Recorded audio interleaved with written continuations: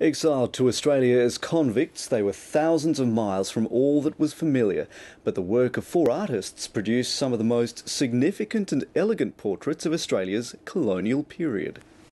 Here are 80 remarkable artworks, works which are rich in history, providing a glimpse of life in the fledgling colonies of New South Wales and Van Diemen's Land. For actor John Waters, there's a familiarity with many of the characters he's played in early colonial period dramas. The gaze of the subjects is, is very genuine, very modern in, a, in, in quite a, a, number of cases.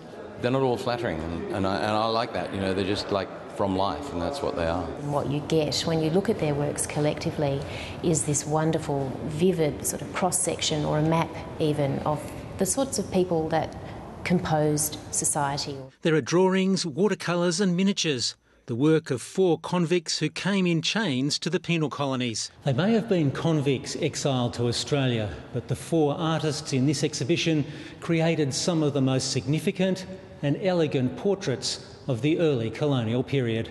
Quickly, the talents were noticed and they filled a demand. Everyone sought out these artists to demonstrate their status with a portrait. There are portraits of governors, judges, explorers, and former convicts.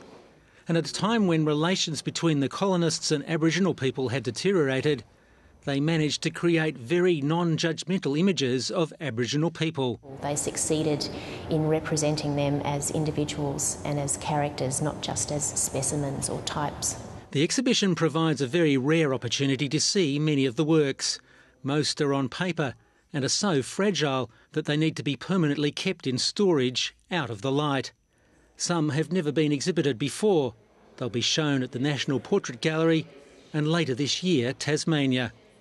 Gordon Taylor, ABC News, Canberra.